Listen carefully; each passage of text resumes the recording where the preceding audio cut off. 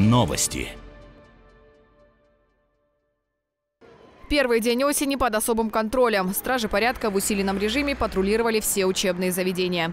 Возле каждой школы дежурил сотрудник ДПС, а также для первоклассников они провели уроки безопасности. В 14-м лицее города Ставрополя о правилах поведения на дороге детям рассказал главный инспектор безопасного движения края Алексей Сафонов. Каждого ребенка по окончании урока ждал подарок – светоотражающие браслеты, наклейки и памятки со схемой безопасного маршрута из школы. Проверяем уровень знаний наших детишек, проводим беседы, уроки, э, проводим беседы с родителями.